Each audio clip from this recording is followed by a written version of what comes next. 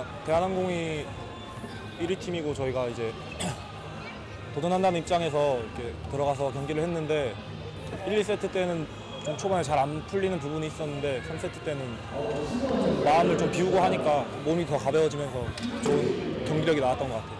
어, 2세트 끝나고 이제 모여가지고 어, 뭐 이길 생각은 하지 말고 한 세트씩 3세트 잡고 4세트 잡고 하나하나씩 잡자 그랬는데 그런 게 잘 먹혀 들어서 이긴 것 같아요. 감독님이 항상 인터뷰에서 말씀하셨듯이 저희 팀은 이제 어린 선수들이 주축이 됐고 올해부터 그래서 지금도 배워가는 단계고 그게 시즌이 지나다 보면은 저도 좋아질 거라고 생각하고 있습니다.